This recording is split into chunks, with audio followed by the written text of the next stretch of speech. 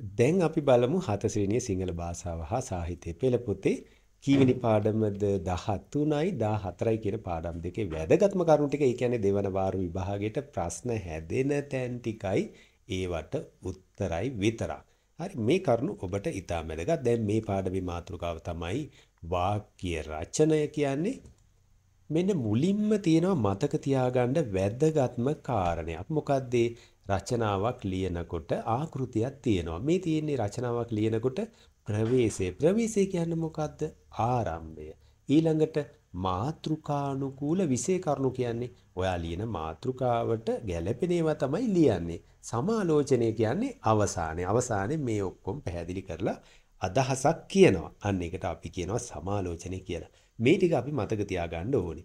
ඊළඟට රචනාවක සැකිල්ල ගැන කතා කරනකොට මෙන්න මේ ටික මතක තියාගන්න ඕනේ. රචනාවක් රචනයක් ඉදිරිපත් කරනකොට වාක්‍ය රචනයක් ලියනකොට අත්‍යවශ්‍යම කරුණු තුනක් තියෙනවා. මොනවාද?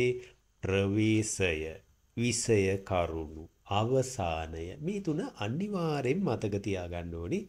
රචනාවක් ලියන්න. දැන් ඔන්න මේ තියෙන උදාහරණ විදිහට වැසි දිනයක් කියලා මාතෘකාවක් දුන්නොත් කොහොමද රචනාව ලියන්නේ? මුලින්ම අපි ලියනවා වැස්ස එන්න ඉස්සෙල්ලා වහින්න ඉස්සෙල්ලා පරිසරයේ තිබ්බ හැටි.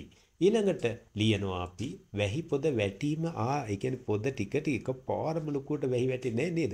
ටික ටික අඳුරු ඊගෙන එනවා. අන්න ඒ ටික අපි ලියනවා.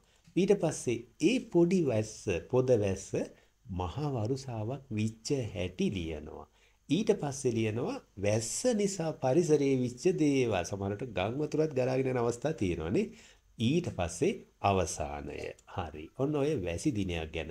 තව තියෙනවා මේ පොදු දීපල සුරකිමු කියලා මාතෘකාවක් දුන්නොත් මේවම ඔයාලට විභාගෙට එන්නේ නැහැ. පොදු දීපල කියන්නේ මොනවාද කියලා ලියන්න ඕනේ. ඒතර හැම කෙනාටම ජාතියක් ආගමක් ભેදයක් නැතුව පාවිච්චි කරන්න පුළුවන් දේවල්. හැමෝටම අයිති දේවල් පොදු දීපල කියනවා කියලා ලියන්න ඕනේ. ඉතින් මෙන්න මේ විදිහට ඊළඟට පුළුවන් පොදු දීපල රැකගන්න කොහොමද අපි කටයුතු කරන්නේ? උදාහරණ අපි දක්වන්නත් ඕනි. මොනවාද පොදු දේපළවල්? පාසල කියන්නේ පොදු දේපලක්. ඒක රැකගන්නේ කොහොමද? ඊළඟට රෝහල කියන්නේ පොදු දේපලක්. ඒ වගේ තැන්වල අපවිත්‍ර වෙන්නේ නැති විදිහට ඉන්නේ කොහොමද? ගමනාගමනයේ සලසන රත වාහන ඒ වගේ තැන්වලදීත් අපි ඒවා ආරක්ෂා කරන්නේ කොහොමද? ඒවල ඉරි ගහන්නේ නැතුව, ඒවා විනාශ කරන්නේ නැතුව ඒවා රැකගන්න හැටි.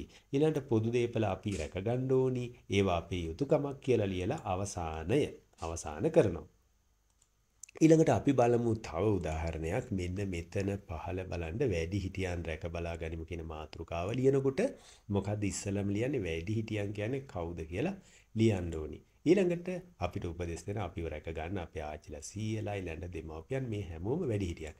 එතකොට වැඩි හිටියන් රැක ගැනීම ගැන අපි කියන්න ඕනි. වැඩි හිටියන්ගේ අගය එයාලගෙන් තමයි අපි ගොඩක් දේවල් ඉගෙන ගන්න. අපේ හොඳ වැරදි කියලා දෙනවා. අපි කරන්න ඕනි දේවල් නොකර නොකළ යුතු දේවල් කියලා දෙනවා.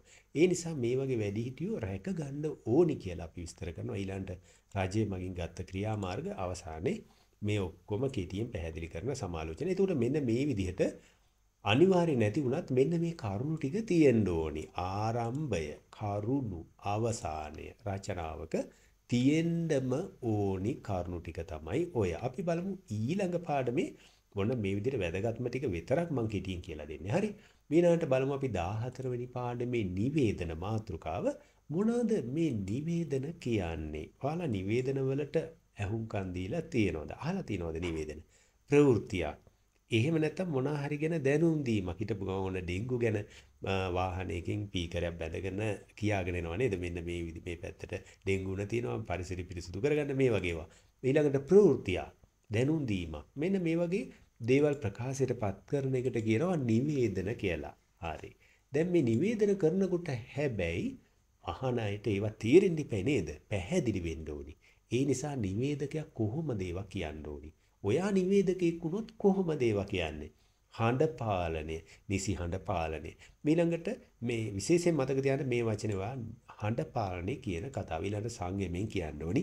තරහ ගිල්ලා කලබලෙන් කියාගෙන කියාගෙන යන්නේ නෑ. හරි.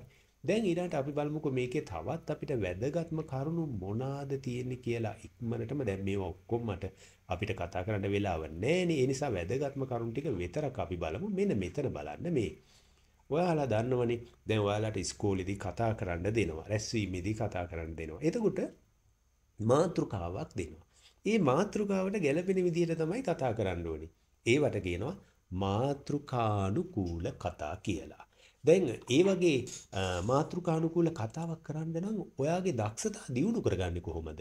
නිවේදන කියවලා ඒ වගේම තවත් දේවල් පොත්පත් කියවලා තමන්ගේ කියවීමේ හැකියාව දියුණු කරගන්න ඕනේ. කතන කුසලතාව කියනවා ඒකට. එතකොට මේ විදිහට දියුණු කරගත්තම හොඳට මුලැමැද අග හොඳට සංවිධානය කරලා යම්කිසි ඉදිරිපත් කිරීමක් එහෙම නැත්නම් මාතෘකානුකූල කතාවක් ඉදිරිපත් කරන්න ලස්සනට පුළුවන්.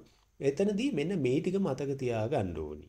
හඬ පාලනය, අනිත් එක ප්‍රසන්න බව. ඊළඟට පැහැදිලිව කියන්න ඕනි. අර්ථවත් වෙන්න ඕනි. තේරුමක් තියෙන දෙයක් කියන්නත් ඕනි. හරි. ඊළඟට තව තියෙනවා අංග චලනය. ඔයාලා ඒව දන්නව නේද?